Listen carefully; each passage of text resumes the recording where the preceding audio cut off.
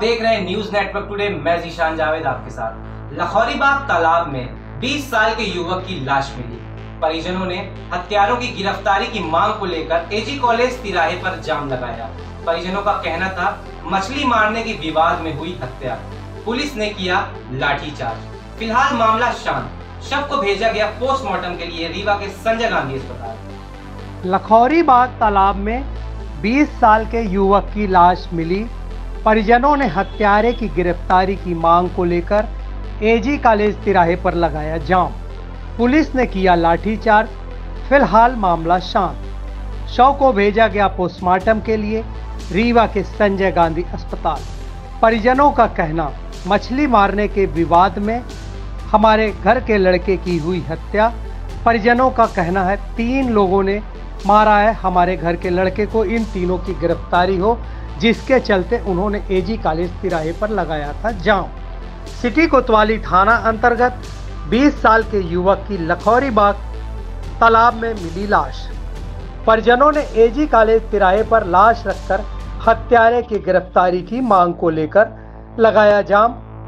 Police ने किया लाठीचार्ज मेरा एक भांजा है अरविंद पटेल। उसको यहाँ पे तालाब में मार करके फेंक दिया गया। कल हमने जा करके गुमसुदी और बाई नेम जिसका चार तीन बंदों का हमने नाम लिखाया। है? उसकी कहाँ गिरफ्तार- की लिखवाई थी खबर आपने? कि कौन से खबर हमने कल शाम को छह बजे सात बजे के लगभग लिखवाया। कौन से थाने में? थाने कोतवाली। थाना। कौन से तालाब की घटना है जहाँ तालाब से। हाँ कौन है आपके जो परिजन खत्म हो गए? वो मेरा भांजा है। ये यहाँ पर अरविंद साकेत 20 वर्ष की अरविंद पटेल 20 वर्ष की उम्र का बालक है। उसके कुछ तीन लोगों से यहाँ पर जो इनके परिजन बता रहे हैं, वसीम बिरजू इनके साथ पूर्व में कुछ विवाद था मछली को लेकर, मछली मारने को लेकर के। ये लखौरी बाग में कोई तालाब है, वहाँ पर ये लोग मछली मारने जाते थे। और मछली मारने को ही लेकर के इन लोगों का पहले का कुछ विवाद था।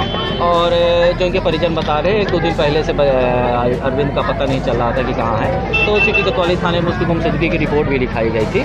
उसी को लेकर के कल इस अरविंद की जो बॉडी है वो तालाब से ट्रेस आउट हुई है। उसी को लेकर के परिजनों में आक्रोश था कि जितनी जल्दी जल्दी हो सके उतनी जल्दी से जल्दी अपराधियों की धरपकड़ की जाए। ये इनकी मांगे ये हैं कि जो भी उनको उनको परिजनों का आशंका है कि अरविंद की हत्या की गई है। और उसको लेकर के इनकी मांग मांग ये थी कि जो तीन लोगों का नाम ये लोग बता रहे हैं वसीम बिरजू और अन्य लोगों का उनकी जल्द से जल्द गिरफ्तारी हो जाए।